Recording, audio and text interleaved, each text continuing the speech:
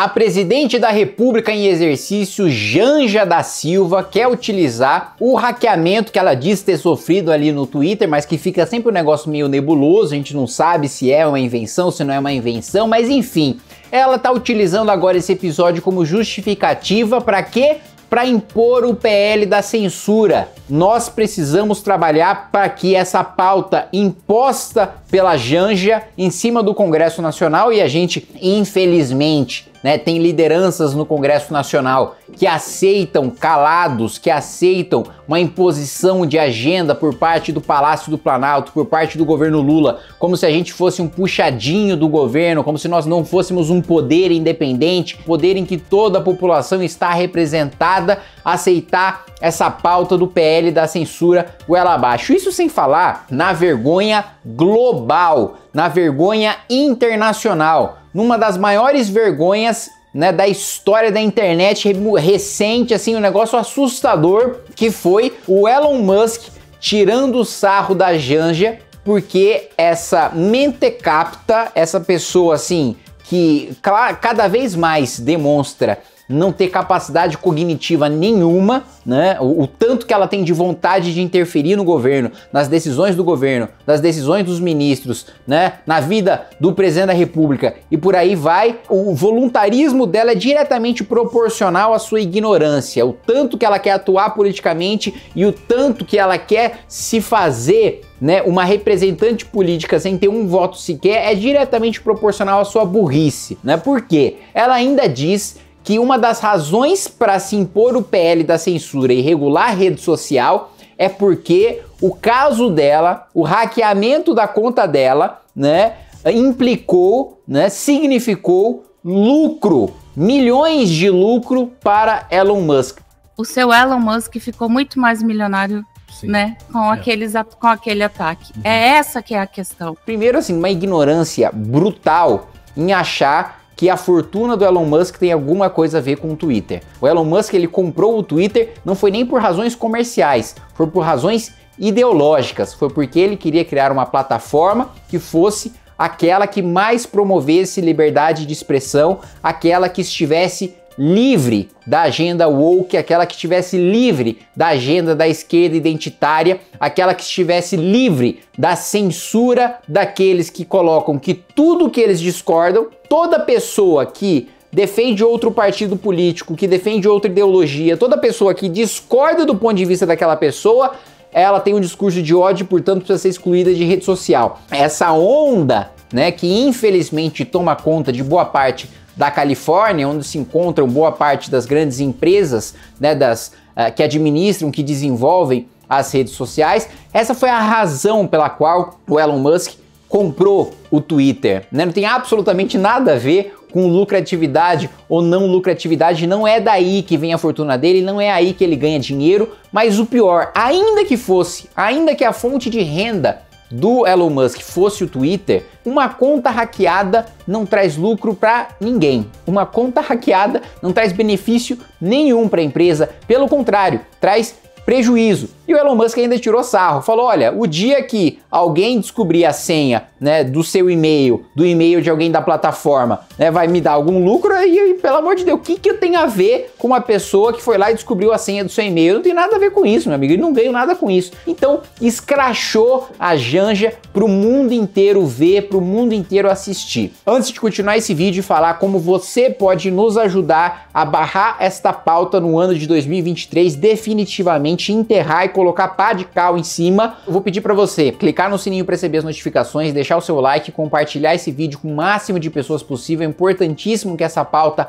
rode o máximo possível, que as pessoas falem sobre isso, porque a imprensa não está falando, não está noticiando. Essa é uma guerra que está acontecendo nos bastidores e que eu estou trazendo para vocês, porque a qualquer momento pode ser pautado nessa semana, se não o PL da censura, Uh, um outro PL que vai trazer como jabuti, que vai trazer como matéria estranha, que vai trazer como um enxerto no projeto uh, questões de censura, questões que estão hoje incluídas no PL 2630, que é o PL da censura. Quero lembrar também que sou pré-candidato a prefeito da cidade de São Paulo e eu preciso da sua ajuda. Preciso que você me leve para sua comunidade, me leve para o seu bairro, que você me leve para sua região, para eu escutar os problemas diretamente dos cidadãos, para eu gravar todas as questões mais gritantes né, do seu bairro que precisam de solução imediata, né, para que a gente consiga não só expor o problema, mas trabalhar para resolver. E além disso, estamos fazendo o livro amarelo do Movimento Brasil Livre. Então você que quiser contribuir, é, é você é um profissional, você é um especialista, você é um acadêmico da área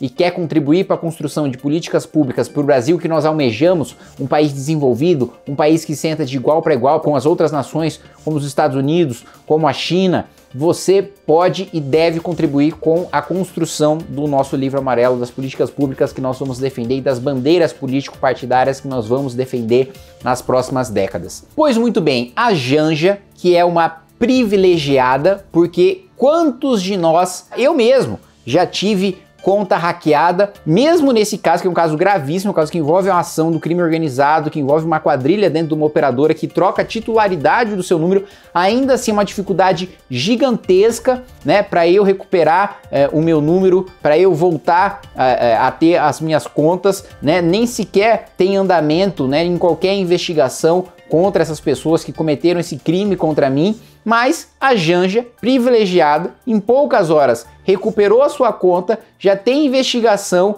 né, com punição à vista para os criminosos que invadiram lá a sua conta e ela ainda está pedindo mais regulamentação e ela ainda está pedindo o PL da censura. O que mais ela quer? Nenhuma pessoa comum te, recupera a conta tão rapidamente quanto ela recuperou nenhuma pessoa comum vê sequer uma investigação sendo aberta para apurar aquele crime que foi cometido. Assim, a ignorância e a má fé dela, né, é tamanha que ela defende um projeto que não tem nada a ver com conta hackeada, que não tem nada a ver com invasão de privacidade. Né? Um PL que trata sobre uh, censura, sobre taxação, sobre limitação de publicidade e a inviabilização do modelo de negócios das redes sociais no Brasil, ou seja, a possibilidade até das redes sociais pararem de operar no Brasil, porque o modelo de publicidade imposto por esse PL, que é fruto do lobby da Globo, né, que quer destruir as redes sociais para que os anunciantes saiam dessas redes e voltem para a Globo e voltem para os veículos tradicionais de comunicação, né? E eu não me lembro, eu me lembro de pouquíssimas exceções,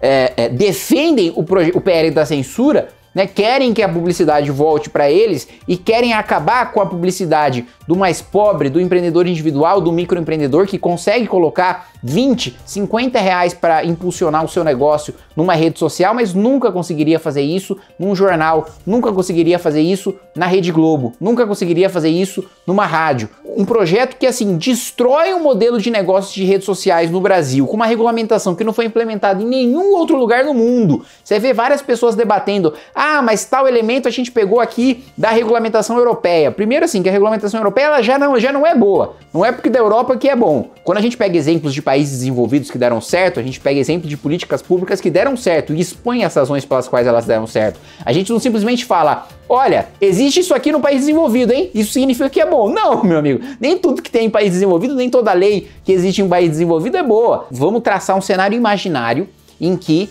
esses pontos que citam da legislação uh, da União Europeia, dos Estados Unidos e da Austrália fossem bons pontos. Ainda assim, são artigos é, que são pescados, que são picotados e que depois são jogados ali na legislação brasileira sem que haja a mesma harmonia, sem que a legislação seja como um todo siga a mesma sistemática da União Europeia, dos Estados Unidos ou da Austrália. Essa pauta é perigosíssima. O primeiro ponto mais óbvio de todos, o tal do dever de cuidado. Quando o Supremo Tribunal Federal colocou que a imprensa precisa ter o dever de cuidado com o seu entrevistado e é porque ela pode ser responsabilizada pelo que o entrevistado fala, numa dessas decisões que mais atacou a liberdade de imprensa da história do Supremo Tribunal Federal, toda a imprensa se posicionou contra e se escandalizou. Agora, o que que essa mesma imprensa, junto com o PT e com o Supremo Tribunal Federal, estão defendendo para as redes sociais? O dever de cuidado.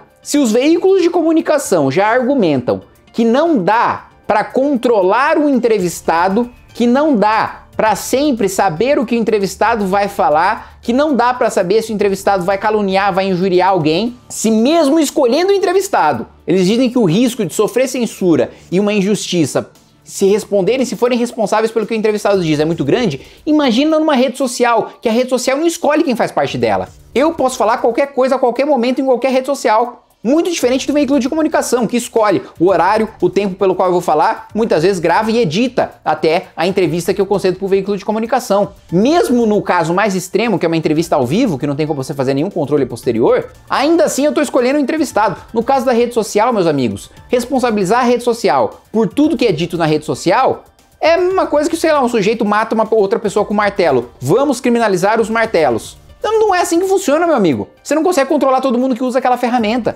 Você não consegue é, controlar qual a finalidade que todo mundo usa aquela ferramenta. E não dá para você criminalizar todo mundo partindo da premissa de que todo mundo vai utilizar a rede social para fins criminosos, porque isso não é verdade. Você está fazendo uma legislação com base numa mentira, com base num falso pressuposto. A pressão de vocês já funcionou para que a gente pressionasse os líderes e os líderes não pautassem, né, junto com o presidente da Câmara dos Deputados, né, o PL da censura né, aqui nessa semana na Câmara dos Deputados. Agora, o que, que está, o que está rolando agora? Estão falando aqui nos bastidores que pode ter um projeto que regulamenta deepfake, que regulamenta inteligência artificial usada para fraudar eleições, né? Então eu vou lá e faço o rosto, né, sei lá, do Obama atropelando uma grávida. Eu invento um áudio é, da Dilma é, é, falando que vai dar um ministério pro Lula para ele da justiça. Ah, não, peraí, esse não precisa inventar. Vamos supor que eu cria alguma coisa, aí beleza. Você ser responsabilizado por aquilo, porque você de fato está cometendo um estelionato. Agora, o que querem fazer é usar como desculpa uma legislação pra, de inteligência artificial e deepfake para incluir pedaços do PL da censura que uh, são fundamentais como o dever de cuidado das redes sociais, a responsabilidade das redes sociais pelo que é dito nas redes sociais. Não tem nada de errado a gente votar criminalização de deepfake, né, o uso de inteligência artificial de maneira fraudulenta para enganar aquele que está assistindo, para enganar aquele que está ouvindo, para falsificar a fala de uma pessoa, para falsificar uma atitude de uma pessoa, para criar uma imagem falsa e passar uma notícia falsa de uma pessoa. Outra coisa é a gente incluir um jabuti, uma matéria que não está lá, por que a gente chama de jabuti? Porque é o famoso ditado popular que o jabuti não sobe em árvore, né? Ou foi enchente ou foi mão de gente. Né? Então alguém colocou lá, né? Porque é uma coisa que não deveria estar lá. Então, uma coisa que não deveria estar no projeto, mas que alguém vai lá e põe ali no projeto que é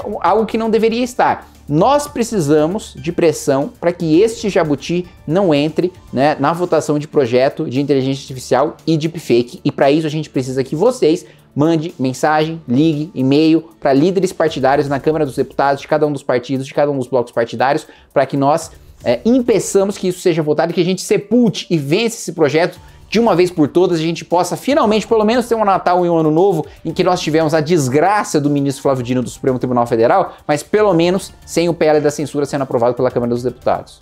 Fala pessoal, o negócio é o seguinte: é fundamental que você se inscreva no Clube MBL para receber os bastidores de Brasília antes dos veículos de imprensa. Você vai saber o que acontece no Judiciário, no Executivo, no Legislativo, antes de qualquer pessoa e vai ter acesso a todos os nossos documentários, mini documentários e votações internas do MBL. É só clicar aqui no link que você vai conseguir assinar.